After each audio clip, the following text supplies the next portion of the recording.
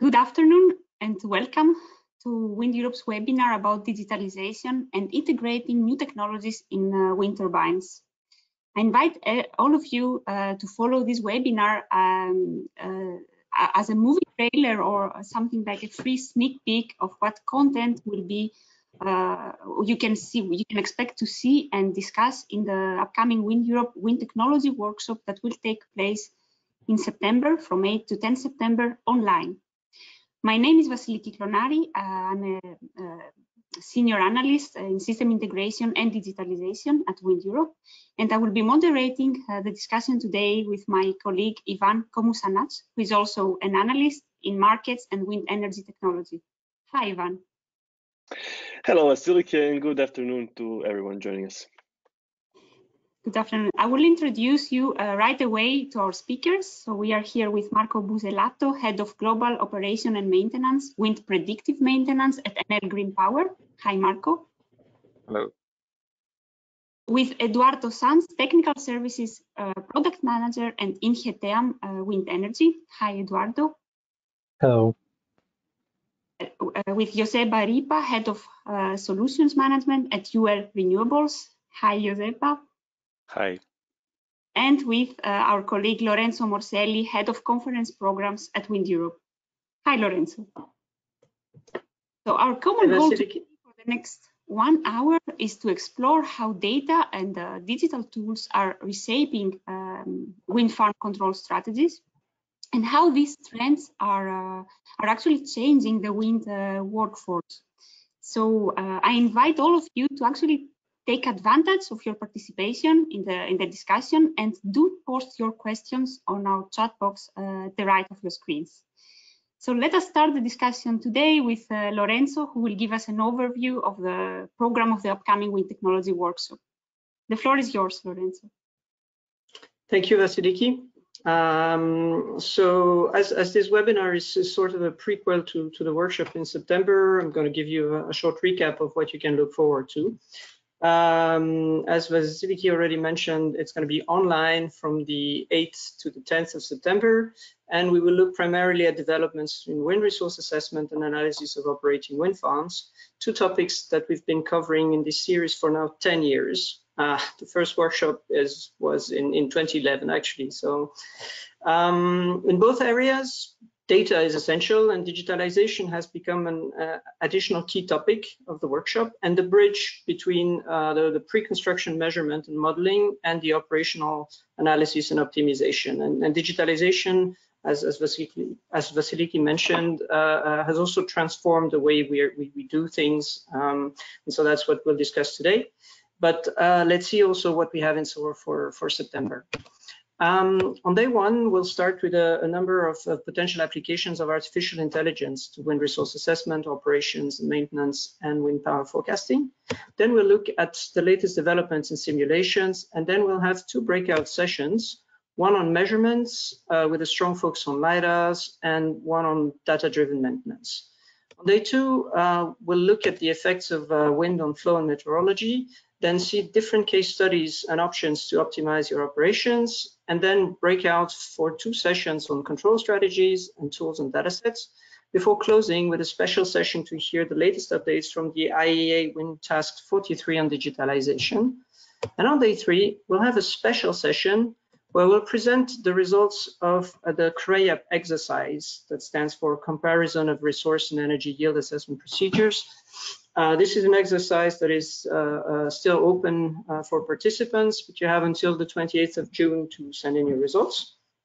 The presentation will be followed by an interactive discussion on the use and pros and cons of time series. And we will close with the latest developments on our understanding of how climate change is affecting the wind resource and what this means to our industry. We'll take you through all of this with 50 expert speakers representing all parts of the supply chain, from OEMs and utilities to technology and software providers and research institutions from all over the world.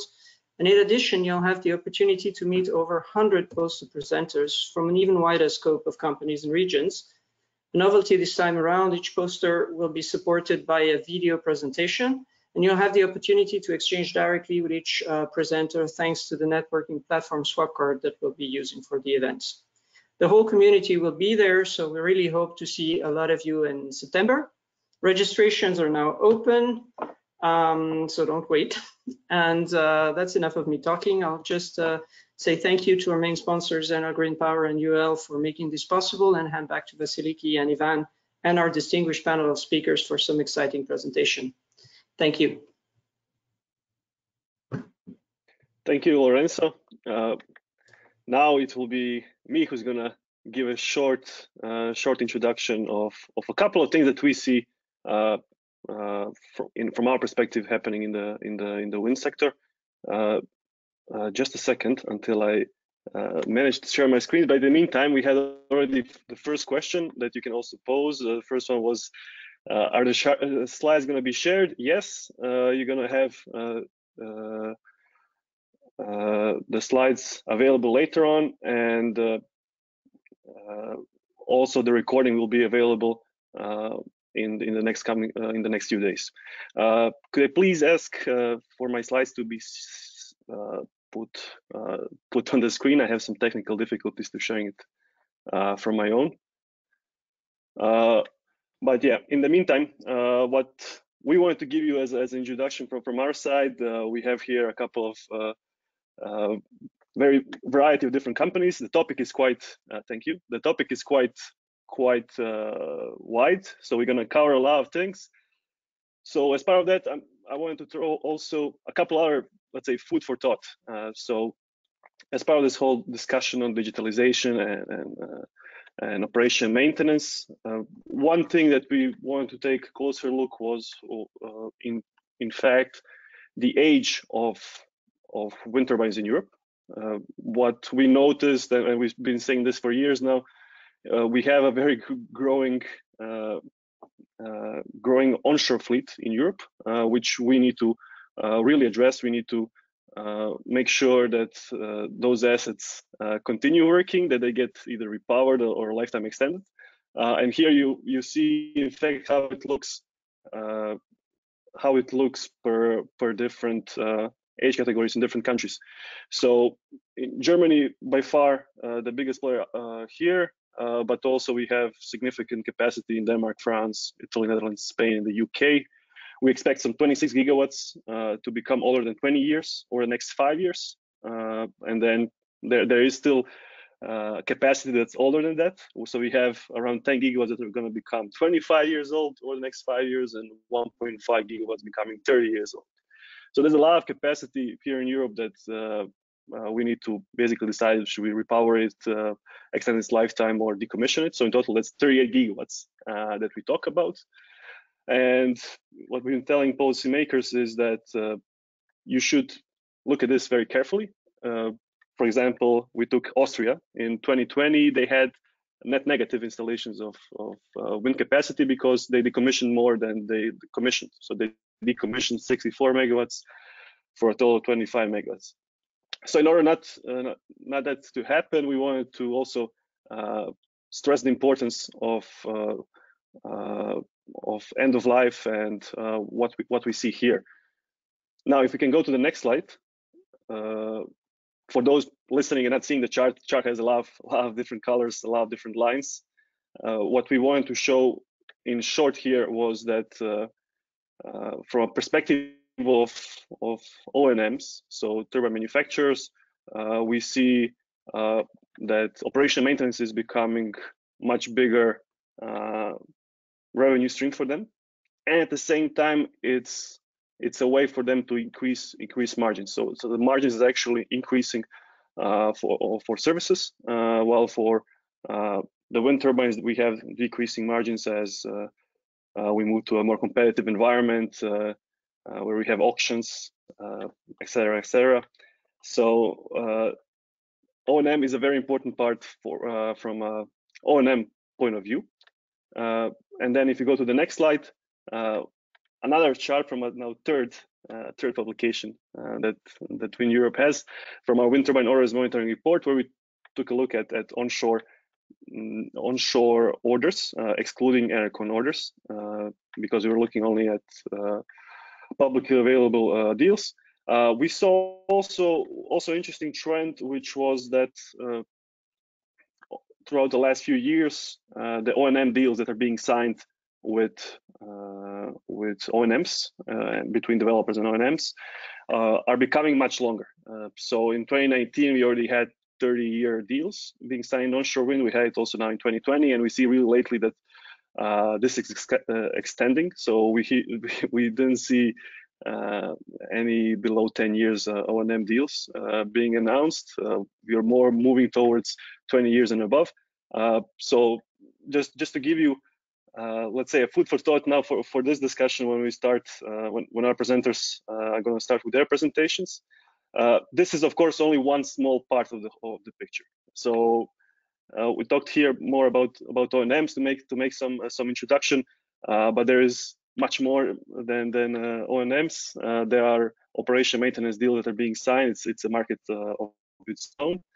Uh, but uh, focusing now on digitalization and, and, digitalization can play a very important part in operation maintenance. Uh, I give the floor to Marco Buselatto, head of global O&M wind predictive maintenance at Enel Green Power, to talk a bit about data and people-driven maintenance in his presentation. Thank you very much, Ivan, for the introduction. I hope you can see my screen. Um, so um, it's well, it's a pleasure being here with you to talk about the digitalization and just to lay the ground for the presentation that are uh, coming right after me and also for the presentation that we will see in the September's webinar. I will talk a little bit more about the uh, how maintenance is changing with this uh, new approach that is based on data, but is also based on on people. So just to uh, to start on uh, with uh, Enel. So who's Enel? Well, Enel is a, a multinational that uh, is active in the electricity sector, mainly in these five main areas: the global infrastructure network, global trading, retail, uh, Enel X discovery services, and and customers. And then global power generation with a strong focus on renewable energy, of course, that is what we're going to talk about today. Uh, but if I had to choose a way to describe Enel, probably I would go with this one, with utility as a platform. Uh, just because in the this 4.0 environment, the platform is the place where the, the input meets the output and the supply meets the demand and in this case, the sources meet the users. By the way, are, are no more users, are more uh, prosumers somehow interacting and exchanging information with the, with the platform itself. So uh, keep in mind this platform word because in a while we will see it again. If we uh, want to have a look at operation and maintenance for uh, the renewable sector uh, for Enel, we can see here a chart with uh, more or less 49 gigawatt installed in the six main technologies in 23 countries, five continents. And then filtering this same chart for the wind technology, we can see uh, that we're close to the 15 gigawatt in 14 countries. Um, and if I had to choose a couple of numbers to better describe what's wind for for Enel Green Power, uh, I would take probably as first this number here, because as we just seen in the Ivan presentation, uh, we have very, very different fleets in our uh, in our uh, in our perimeter. Like for example, this one. I mean, the only thing these two wind turbines have in common probably is just a set of three blades. Period. So the, the entire maintenance needs to change also to um, keep track and keep the pace with this huge change that we're experiencing also in the asset uh, uh, point of view. Then the, the second number I would focus on is the uh, bottom right one, that 490 O&M people, because inside Enel, this means sort of 4% of the organization in O&M that is handling and managing 16% of the capacity installed. Uh, and probably this, this is a difference that will be even bigger in the next future um, because the, actually this is not only Enel, this is the market. This is a, a study uh, presented by IRENA a couple of years ago, where you can perfectly see how the number of people per megawatt is decreasing in time. So it's a that difference will be uh, bigger, not because we will have less people, but because the growth in megawatt will be far bigger than the growth in terms of people uh, managing that fleet. So uh, that's good. Of course, we have to take into account that the wind turbines will be bigger. Uh, the geographical optimization takes place.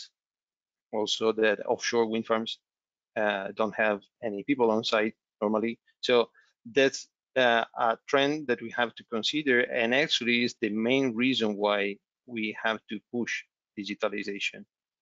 And that's the reason why, for example, in Enel, we uh, started with this new data-driven approach, uh, moving from the time-based maintenance towards uh, condition and risk-based maintenance through the data. That, in other words, means also to uh, move maintenance from an uh, asset independent maintenance towards an asset dependent. So uh, taking into account the actual behavior of the asset. So it's not either one or the other. Of course, it's a transient that we have to consider, and actually that we patented also. Um, but it's a, a, key factor to start using data to change maintenance. So one example of data, of course, uh, is the set of SCADA signals that we have, uh, temperatures, pressures, power outputs. And if we analyze all of them, uh, probably we can reach a new approach to monitor, which is the health status of the different assets. But in the actually in the green box, I, I would uh, stop just a, a, few seconds because we hear a lot about uh, machine learning, huge neural network applied for all the sensors. Probably that that's not exactly the best scenario. Uh, wind turbine is not uh, such a complicated machine. The complexity is added by the environmental condition that is affecting the behavior. Also, some components that are not uh, uh so easy to handle, but uh, machine learning, even simple machine learning algorithms sometimes are enough to analyze at least the basics. A random forest can be enough. It's true that neural network, a simple neural network is needed sometimes, but the most important part from my perspective is the physical models that we need to add uh, on the table. So if we don't know how a component is behaving because of the physics behind and the design of that component, there's no way we can get to the perfect result. So this hybrid approach is a key factor to being able to move to this new maintenance. So now the, the question is, we've talked about SCADA data, but is this enough?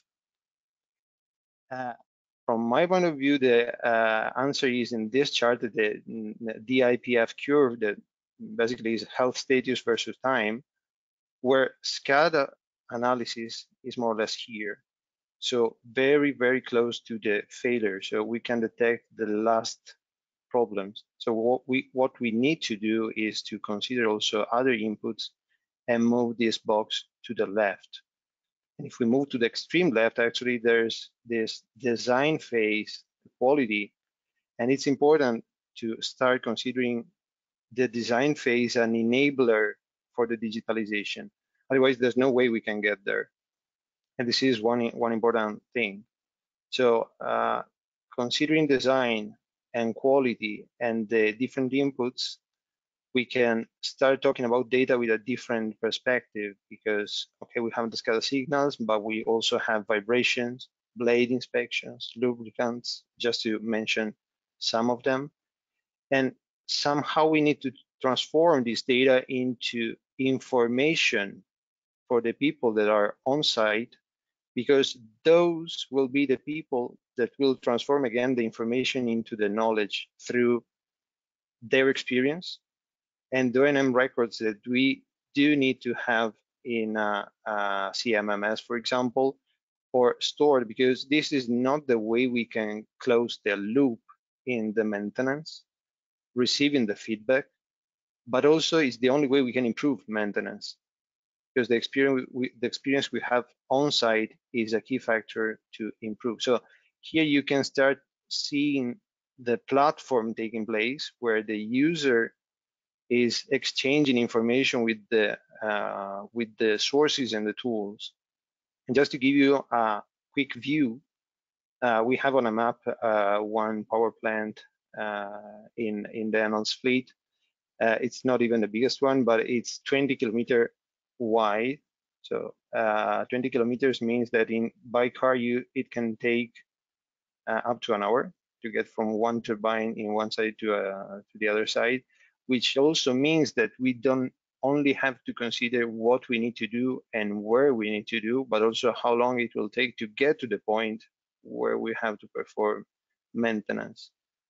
So for example, if we look at which is the health of the asset, knowing that 26% in the wind turbine 2, for example, is a key factor because we can plan in a different way the maintenance, knowing which is the actual behavior of the asset. And so this drives uh, directly to the second and last question, because what about people? Well, I went through the job descriptions uh, in the last seven years, more or less. And at the beginning of this story, uh, a technician on site was uh, expected to have um, industrial and technical skills, to be physically fit, and so uh, people that were working on field directly and manually. Uh, then little by little it moved to flexibility, resilience, and also being company ambassador.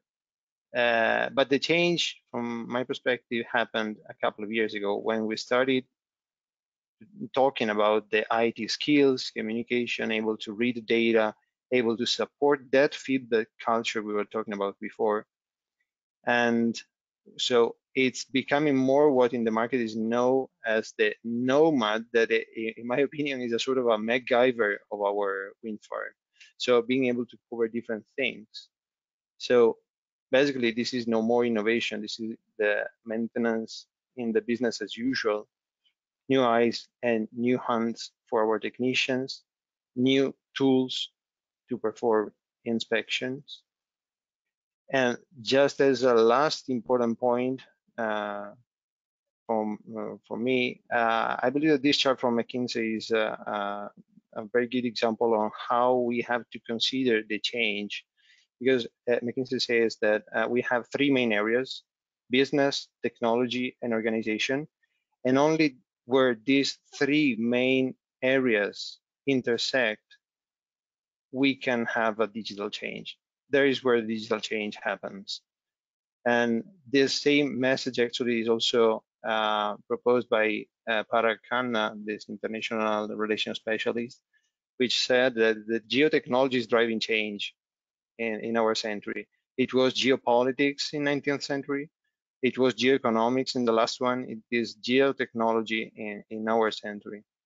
And digital leaders must be fluent in these three languages, and I like very much the word language here because this is not only the way you can um, express yourself or uh, express the knowledge to communicate, but it's also a way to describe society and organization. So if the entire organization is not aligned towards uh, the same goal, there's no way we can get digitalization in our open firms. Thank you very much. Thank you very much, Marco, for uh, for explaining to us this uh, general trend in wind operation and maintenance towards more data-driven approaches and, and how this is transforming the, the, the wind business uh, since, since some years now. But you also highlighted something very important that uh, it's very important to deploy all these digital tools hand in hand with, uh, with physical models. So now uh, Eduardo will uh, will take a deep a deep technical dive into um, into uh, another, as you called it, hybrid approach, not for operation and maintenance this time, but for model validation for uh, wind turbine converters for grid compliance. So Eduardo, the floor is yours. That's it. Thank you very much, Vasiliki, and thank you, Marco, for the presentation. I'm going to to go to the to the other extreme, let's say, of the the curve that Marco showed, right? Because I'm shifting from Marco's view from the O&M point of view to the design point of view, from the converter controller point of view. Okay. Approach purely from the technical mm, technical side of it, from the design phase of it. So maybe in order to contextualize, uh, I must say that uh, I'm speaking from the wind power converter division on Ingeteam. And uh, also maybe, you know, Ingeteam from some other products, I will be focused purely on the uh, controller of the power converter, okay? And the presentation will be focused on the validation of this uh, converter controller.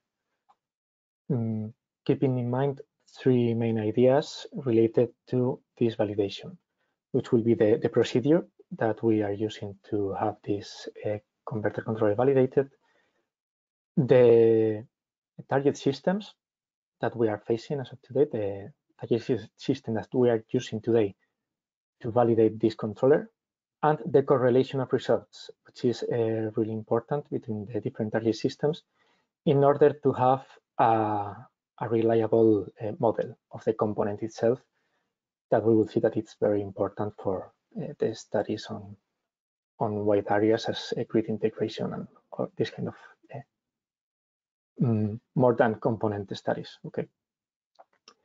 So uh, to give an, an overview of how we use the um, how we define the firmware development procedure, I want to show you these uh, four steps, five steps, sorry, that uh, we define inside our firmware development procedure. This is only a snippet of the full procedure and is based on a standard V model of software development. But I want to show this to uh, highlight where the the validation takes place and where the target systems are used. Okay, so we have basically three steps where the validation takes place. The first one is the definition of the requirements, which is essential, and the introduction of these uh, requirements in the specific tool. And then we have uh, two steps where we uh, run all the simulations on both software in the loop, which is uh, referred to as SIL, and hardware in the loop platforms, which will be referred as HIL. Okay. Uh, we do type tests for individually individual functions, and then we perform always a serial or routine validation for every firmware release. Okay. I want to show this so that uh, everybody has in mind that what I will show next uh, will be applied in these three steps. Okay. So um, the first step, uh, as I said, is the test definition and execution of the of the validation process. Okay.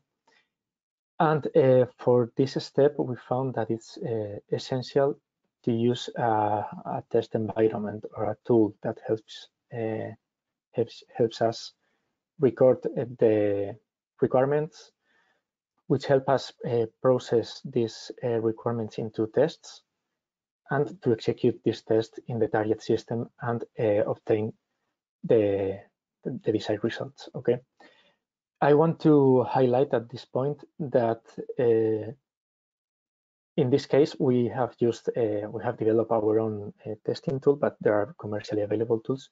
But I want to highlight the importance that in our case the tool is able to launch the exact same test in different platforms, okay? Because uh, the basis of this presentation and the base of this presentation is that we will run the exact same tests in both a hardware in the loop to uh, check the controller inside the hardware in the loop system in real time. And we will launch the exact same test at the same time in a software in the loop platform to validate the, let's say, the digital model of the converter the library file or DLL as some of you may, may know it, okay? So I want to highlight that these, uh, these three steps are essential and it's really important that they are uh, automated. There is uh, as little human interaction as possible in order to have a great traceability of all the tests and all the results, okay? Once that we have a predefined the tool that we will use and once that we have a set of tests that uh, we need to run in the controller in order to validate it, we need to define which TargetST systems we need to to validate the, the system on, okay? Because uh, initially, what I want to show in this slide is that uh, initially from the converter design point of view, um, the HIL system, the hardware developed system is used purely as the controller hardware validation and the library element for the converter controller was used uh, purely for the EMT electromagnetic transient simulations of the electric systems and valid internal validation of uh, the behavior of the converter. Uh, therefore, in the past, we had uh, different tools for these two uh, validation processes as we thought that they were uh, independent. But um, more and more, well, it's uh, also state of the art that OEMs are already using the libraries from the converter and also other components. And in this case, I'm talking from the converter point of view. The libraries from the converter for the EMT simulations. And we are uh, seeing that more and more uh, grid utilities, the TSOs or DSOs even, uh, are also shifting from RMS models to uh, EMT simulations, electromagnetic transients. Okay, because when going to uh, grid stability issues, uh, it's not enough with the simplifications that an, an RMS model regarding the turbine and the power converter in particular, it's not enough to reproduce grid stability issues. So we have seen that this converter component library is not being used only in the converter design, it's not being used only in the turbine design, but it's also being used by uh, other grid integration uh, studies by other companies, grid utilities, DSOs or TSOs. Okay, we have seen this case uh, in countries as uh, Australia, in the US, or in, in China, where it is required to have a high detailed uh, EMT model, which implies a highly detailed um, converter twin or converter component so that uh, grid integration studies are are uh, detailed enough. Okay. So once that we have this in mind, we decided that all the tests have to be run in both systems to have an equivalent of the converter controller in, in the digital world. Okay. Um, the procedure that comes next is very is quite state of the art. Okay, it's basically the simulation where you, we have the original code of our controller that is compiled into both worlds, okay, into the controller firmware and into a library component, which is the, the DLL file. Okay. So the target systems will be the software in the loop system with the library component, where we have the electrical model and a library component comprising all the systems inside our controller. Okay, all the original code is inside these components. And uh, this allows us to have a, a, a, library component to give our customers. Okay. And uh, on the other hand, we compile it, of course, for the final product, which is our converter. And uh, we used a HIL system, which is this one that you are looking at the left side, to validate the controller itself, okay, where we can connect the controller to the HIL system and uh, test not only the, the code itself, but the integration with the full hardware of the controller, the behavior of them, all the microprocessors, interaction between the buses, etc. Okay. Um, so once that we have uh, both systems uh, targeted and clear, um, the tool that we developed allows us to, uh, well, it's the tool that we developed, but as I said, we can use any other commercial tool, okay? Allows us to run the exact same cases, the exact same test cases in both platforms so that we can check that the results are uh, equivalent one to the other. How would we check that? Uh, we do it by a post-processing stage after all the tests have been run we run a post-processing with the exact same uh, tolerance values and uh, acceptance criteria for the SIL results and HIL results. And therefore, we can run the same case. In this case, is uh, case three. We run it in SIL simulation, we run it in HIL, then we post-process all the results so that we can check that the tolerances are met for both systems. It gives us the certainty that the library component that will be used by third parties is equivalent to the controller firmware that is validated on the HIL system. Okay. Mm, this, uh, well, we run a very large set of uh, tests. This, in this case, is a steady state test. We also run a, a dynamic uh, test, in this case, an HVRT test, and the comparison between a library component and controller firmware. I forgot to say that the electrical model in both targets is always the same. So the the only thing that changes is the the controller. In one, the HIL system is the controller, the hardware controller, and in the simulation is the library component. Therefore, we can uh, correlate the results and see that uh, have confident have confidence that the component that we are giving to our customers uh, represents truthfully the controller that we are installing in our in our converters. Okay, so with uh, this in mind, uh, we can be sure that from the design phase, we can trust this uh, let's say digital equivalent of our controller for future tests and for uh, grid integration studies. To sum up what I've uh, said, um, I want to highlight four key points in order to have this uh, validation procedure applied. Uh, the first one is the uh, validation needs to be automatic. And this is essential from our point of view and no human interaction to reduce human errors. The HIL testing is required for the full control, controller characterization. Without the HIL system, we wouldn't be able to compare directly uh, with the SIL simulations and to validate the library component. Um, we, we could do this by using uh, field data, but the goal of all this uh, validation procedure is to avoid using, uh, to avoid having to go to field uh, testing to validate the controller, and therefore the HIL system we feel that is essential nowadays for this task. Another key point is that uh, the controller library component must be highly detailed, must be a truthful representation of the controller in order to be able to do grid integration studies. Even a slight uh, difference between both can lead to uh, wrong results on the grid integration studies.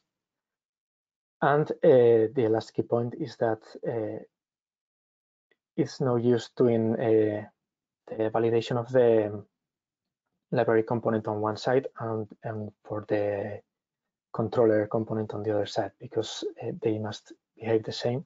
So we should target both systems at the same time. We think that this is essential. And uh, yeah, this is my presentation for today and thank you very much. I will be happy to answer further questions in the Q&A turn. Thank you very much, uh, Eduardo. It's uh, very interesting to see how um, how standard processes are, are evolving over time uh, thanks to new capabilities, new new technologies. And uh, now Joseba will uh, will present another uh, another um, application of digital twins, and this time it's about how these how digital twins can be used to validate changes in the control of of of a wind farm. So, uh, Joseba, the floor is yours. Hello, everyone. Um, am I sharing my screen? Yeah, okay, we can so, see. Thank you. Um, so um, this is a great uh, this is a great uh, presentations today from Marco and Eduardo. I hope to be at the same level. Uh, I'm, I'm gonna talk about how to validate the changes on wind farm control with digital twins. Um, I'm Joseba Ripa, Head of Solutions Management for UL Renewables. For those that don't know UL, uh, UL is a global leader for testing, certification, and technical advisory services to grant um, global market access and bankability to products, systems, and, and projects. Um, we mainly focus on, on safety, sustainability, and, and performance. Um, basically, we have developed uh, um, a myriad of services like those you, you see here in the screen, testing, inspection, and certification of turbines and components. We do wind and solar resource. We do due diligence uh, to make sure we our clients can can get the necessary bankability of their projects, grid code compliance. Uh, we have uh, services for operational performance assessment, structural integrity, lifetime extension. Uh, we have talked about that in, in previous uh, webinars. Uh, and other services. Digital solutions, we have a lot of interesting products like OpenWind, Windographer, and some others that I will be happy to catch up with uh, uh, the attendees uh, uh, and review those those services. So let me go to, well, uh, basically, just to finish the presentation about UL, we are present in, in, more than 140 countries. We have evaluated more than 200,000 megawatts in, in the world and we have been technical advisor for more than 90% of, of the global project developers, plant owners. So I think we we are clearly one of the of the global market leaders in, in technical advisory and digital solutions. So today I'm going to focus on wind farm and wind turbines control. So very, I mean, the, the presentation uh, it's uh, quite generic. I think can be understood by everybody, hopefully. Um, basically, uh, what I'm going to explain is that many of current uh, plant owners are looking for new ways of uh, squeezing or maximizing the production of their plants, especially on, on, on old wind farms. And this is by means of uh, changing uh, the SCADA, changing the, the, control of the turbine uh, turbines. Um, and the, the main aim of uh, working on, on the control of wind farms and wind turbines is making sure th that the wind turbine can produce at the lowest possible cost. So minimum minimum price per megawatt hour. So there are three main dimensions here. One is maximizing the production by means of optimization techniques. The second is reducing structural loads, which at the end will mean reducing the OPEX. And the third uh, important uh, dimension is improving integration to secure stability, uh, reliability, and quality on the electrical uh, power to, to uh, reduce grid connection costs. But as you see, the three of them are related to increase production while you decrease the cost of doing that, right? So which are the reasons why owners are looking for these ways of uh, to optimize the control plants? The first one is energy price variability. So because many of the older feed-in tariffs are expiring, while we also are seeing many PPAs coming into, into the arena, the reality is that many uh, plants are still uh, depending on the spot market price, and, and this implies a lot of variability on, on the revenues for, for, the, for the plant. So in somehow this change on control is connected to uh, control the controlling in, the same way that conventional power plants can do, right? So this is one idea one of the reasons uh, to to weigh in to look into the uh, optimizing the control. The second one is optimizing the production. As the global market is becoming more and more competitive, there are many developers, new owners, there are tenders in which everyone is is really uh, playing with their tools to make sure they can win the tenders, they can really develop their, their plants. And at the end of the day, this means squeezing assets uh, uh, to, to make sure that they can produce all they can uh, uh, in a safe way, right? The third point I mentioned before is uh, adapting to new grid codes. Uh, in many of the European countries, uh, grid codes are being adapted to make sure that uh, renewables are achieve higher penetrability to make sure the decarbonization of the of the economy. And this implies that wind turbines have to collaborate somehow on the voltage and frequency uh, regulation to make sure that these grid codes are complied. And finally, uh, there is extended life cycles. Uh, as we all know, um, life extension is playing a role. And with this lifetime extension, uh, many old plants are using old controllers. And with those old controllers, uh, owners are super limited in, in the things they can do with the plant. So if uh, the wind farm owner is affected by those reasons, they are starting thinking, okay, how can I change my controllers? How can I incorporate knowledge to make sure that I can maximize the production of, of my plant, right? So there are four steps uh, because, well, uh, actuating on, on the control generates substantial risks and then a, a robust mitigation plan for those risks is needed. And this plan is based on four main pillars. One is design the control strategy, the best control strategy. Number two, modeling this control strategy uh, and see what are the possible consequences of this simulation. The third is validation of, of the assumptions and the model. And the fourth uh, main uh, step is monitoring. So let me go quickly over the three, over the four steps, which will be the, the content of, of this presentation. So number one, designing the optimal control strategy. I am representing here many. Uh, this doesn't mean those are the only ones. There are many others.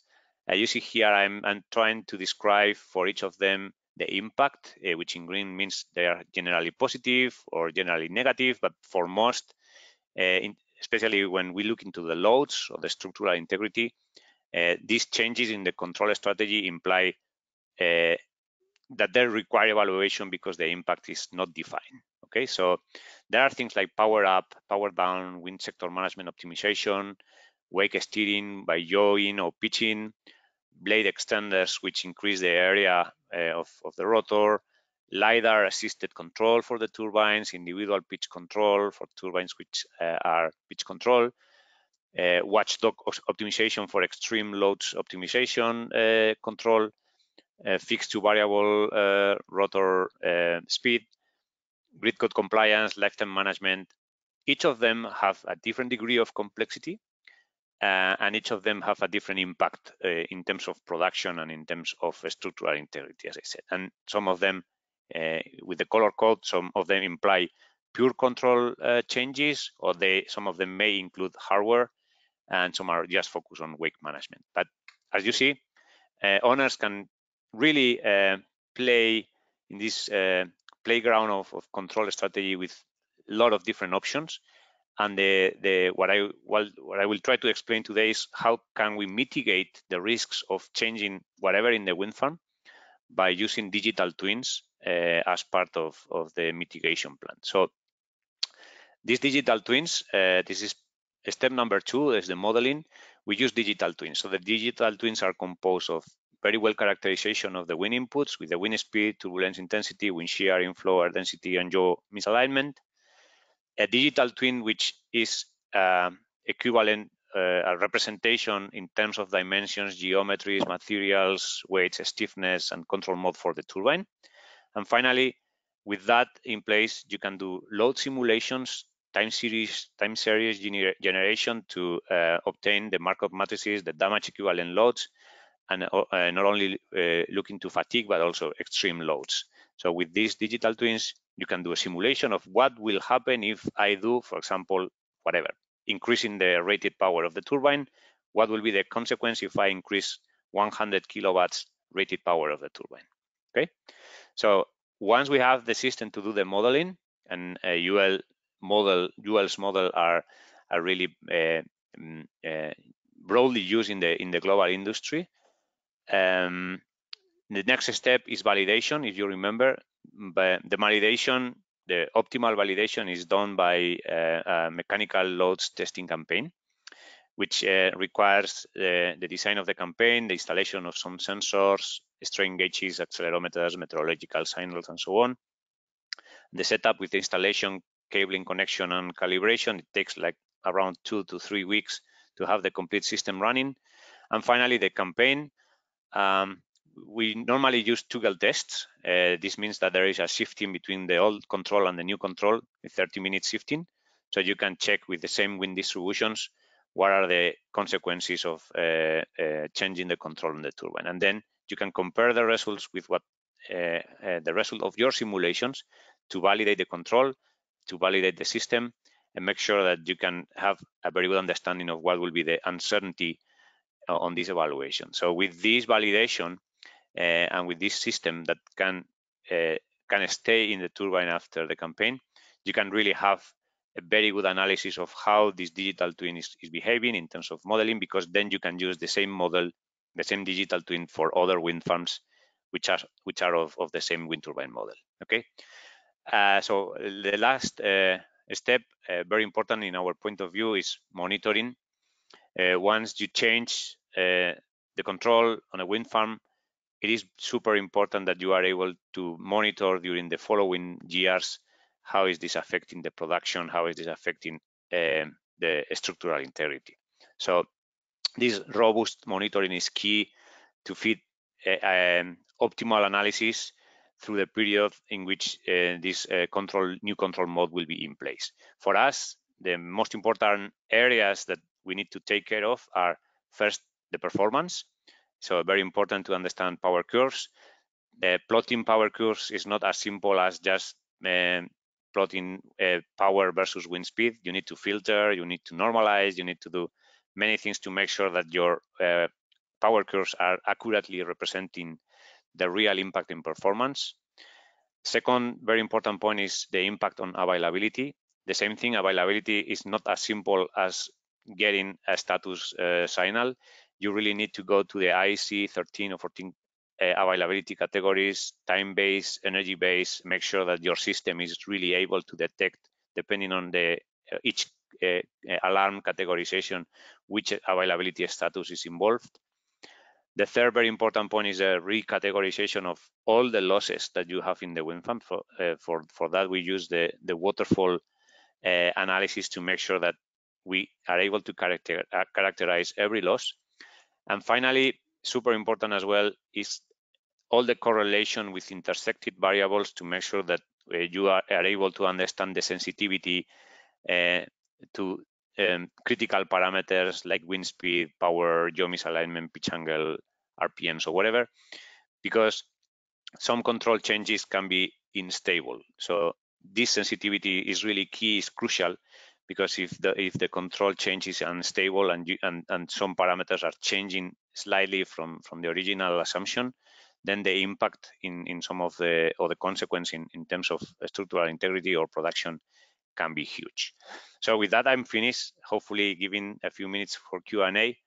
Uh, just want to remind everyone four main steps on um, on control changes. Uh, design very well your strategy. Uh, uh model this, that strategy by means of digital twins. Uh, validate that with a mechanical loads campaign and monitor during the, the period of implementation and later on the consequence on the production and structural integrity. UL will be really happy to support you uh, with these four steps on, on your on your process. Thank you very much, uh, Joseba. So uh, while we, during the presentations, the, the, the, chat has been very active uh, with questions. So maybe I will, uh, I will start with a question to you. Um, and uh, I mean, maybe a double question, in fact. So I want I wanted to ask you. You, you just uh, presented the, the, the, deployment of a digital twin to, to, to do this model validation process. How precise um, is this approach compared to the models by the, um, the manufacturers of the technology? And then, mm -hmm. knowing this, um, if, if maybe there are any any data, any statistical data um, proving how much if you can save opex or capex by deploying such such approach for example mm -hmm. yeah, others to, that may exist or yeah to the first question uh, the, the the digital models were really something uh, which was uh, proper uh, intellectual property of OEMs during years and this was a barrier for the implementation of, of many of those things for owners the technology is evolving and now we have the capability to to have independent aeroelastic models. At the beginning, those models, I want to be uh, honest, uh, were not so precise. But after, at least in our side in UL, after three, four years working to refine the models with calibrations and validations, we think we have uh, acquired a very uh, high level of precision, very close to OEM uh, a proprietary model. And, and, to the second question, um, this uh, let's say these control strategies uh, can really improve significantly the um, the return of investment on on, on the plant. Uh, if you play well uh, on on the different areas, performance, availability, uh, OPEX, and so on, you can easily uh, target around 10% of increase by uh, having a very very robust uh, um, control strategy, which is very well implemented. And of course, this requires um, good assessment and, and the use of, of good technology uh, and digital uh, digital tools. 10% in availability or revenues? What? No, in, to, in, total, in total, uh, you can increase the, the the gains in terms of incremental okay. revenues plus incremental yeah. savings okay. plus mm -hmm. mm -hmm. Um, reduce of of costs by mm -hmm. around 10% in, in in optimal cases. Okay, thank you very much. So we have we have a couple of minutes left. We won't take it too long, but we can still do uh, a question each for Marco and, and uh, Eduardo. So Marco, for you again, as Vasiliki also said, uh, a double question. I'm going to put combine two from the chat. Please try to answer it, uh, let's say, within a minute if it's possible. So the question was more of, of the benefits of digitalization on capex and opex uh, that you see at Enel Green Power. You know what increases, what decreases, what's the uh, how do you see it there? And at the same time, another question, and then you can choose how to answer it, or you do want to answer one question or or, or the other. Uh, was that a, a good uh, O&M strategy does have a combination of, of numerical models and, and let's say on the field uh, inspection data. Uh, how do you see those two being uh, being combined? now, Jose, Jose Javier now mentioned a very nice example, but do you have perhaps anything else to add on that? Well, I will start with the second one because it's a good hint for the first. And I believe that uh, um, having the inputs from the inspection is a key factor because the, all the inputs that we may have from sensors or real time are not enough normally to define 100%, which is the, the full picture of the situation in an asset. So uh, merging them together is not only uh, a suggestion, is also a, a, key factor to succeed in the definition of what's health. And so uh, that, that's a key factor and also the reason why normally the um, organization is more decentralized than centralized if you have strong standardization and, and tools uh, in place. And uh, talking about the CAPEX and OPEX, of course, it depends a lot on the maintenance strategy uh, you have in place. Uh, with the strong digitalization, uh, you can, of course, reduce both, but not immediately. So it's not a sudden decrease.